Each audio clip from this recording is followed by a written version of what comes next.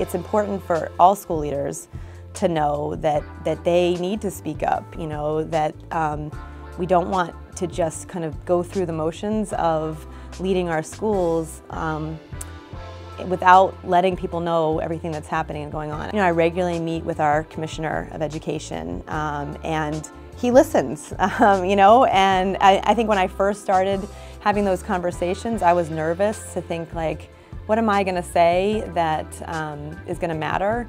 Um, but everything I say matters. I think that every school leader, you know, has um, has important information to share and I mean, we, we are our kids' advocates, speaking up uh, with your school committees, speaking up just with your leadership teams, um, speaking up and sharing information with your parent community.